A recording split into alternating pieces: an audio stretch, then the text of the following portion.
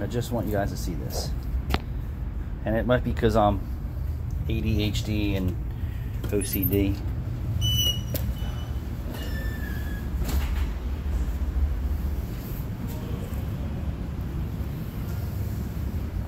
And this is nothing compared to what you would see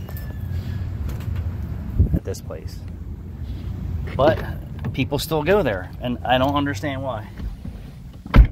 Understand why.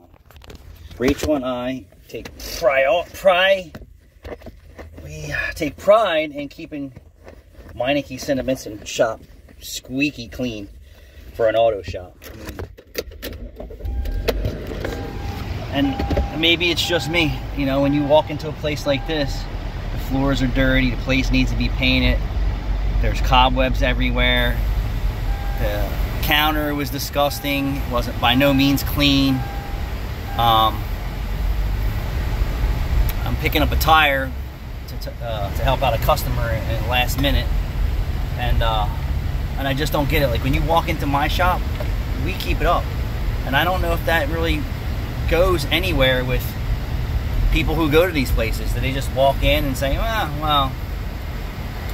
This is my thought. Like if the if the the entryway to the business and the service department and the customer waiting area is disgusting, which that is. Um, and then you walk in, the floors are dirty, the counter's dirty. Uh, what's your thoughts about that? But I seen customers' cars in there. The, the, glass inside was dirty. You go around back to the shop. The shop's dirty.